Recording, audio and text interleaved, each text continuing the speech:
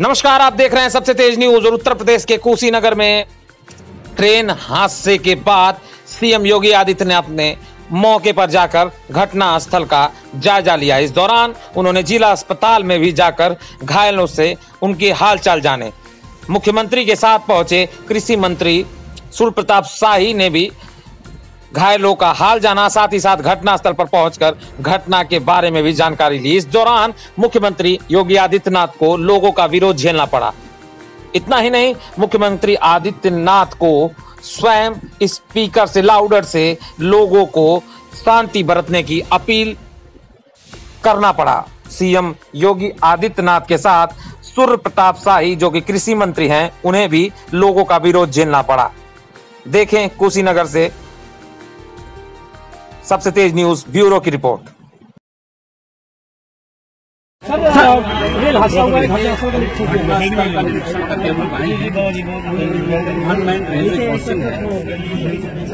लेकिन वहाँ पे रेल मित्र के नाम पर जो व्यक्ति उसके इशारा करने की बात सामने आई है सब मामलों की जाँच करने का आदेश गोरखपुर के कमिश्नर को दिया गया है इसमें दुर्घटना के कारण की जाँच विद्यालय की मान्यता, ड्राइवर की उम्र, क्षमता से अधिक, बच्चों को वाहन में भरने की बात कौन कौन इसके लिए जिम्मेदार है? बेसिक शिक्षा अधिकारी की भूमिका की जाँच होगी। ईआरटीओ जो कुशीनगर के होंगे, उनकी जाँच होगी। और घटनास्थल पर दुर्घटना के कारणों की भी जाँच होगी। विद्यालय की भूमिका, विद्यालय के रजिस्ट्रेशन इन सब के बारे में जाँच करके जो भी दोषी होगा, कठोरतम कार्रवाई हम करेंगे। मैं जो पीड़ित परिजन हैं, मेरी पूरी संवेदना उनके साथ में है। केंद्र सरकार, रेलवे मंत्रालय, उत्तर प्रदेश सरकार सभी, उन सभी परिजनों के साथ में है, जिन्होंने अपने मासूम बच्चों को खोया है। इस प्रकार की दुर्घटना दोबारा न हो इस बात के लिए पुख्ता व्यवस्था करेंगे। लेकिन बार बार निर्देश दिए जाने के बावजूद अगर किसी ने इसमें लापरवाही बरती है तो उनकी जवाबदेही तय होकर के हम कठोरतम कार्रवाई की सर जैसे इस तरह के रेलवे क्रॉसिंग कई है जहाँ फाटक नहीं लगा हुआ है। ये अनमैंड रेलवे क्रॉसिंग के बारे में हम लोग बातचीत करेंगे। रेलवे से ही बातचीत की जा रही है।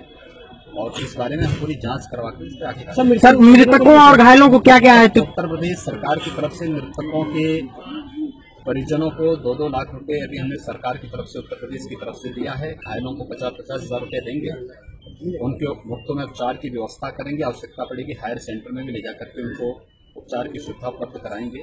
फिर मैं बी मेडिकल कॉलेज में भी उनको वहाँ जाँच देखने ले जा रहा हूँ।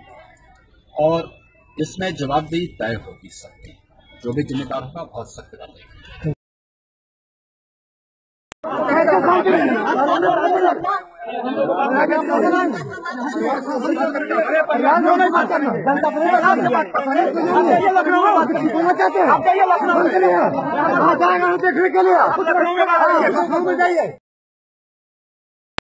समय एक फालतू की नारेबाजी और नेतागिरी करने की बजाय समस्या के समाधान की तरफ़ हम लोग बढ़ेंगे तो अच्छा होगा। आप सब एक बार थोड़ा रास्ता दे दें अच्छा होगा। यहाँ पर हम लोग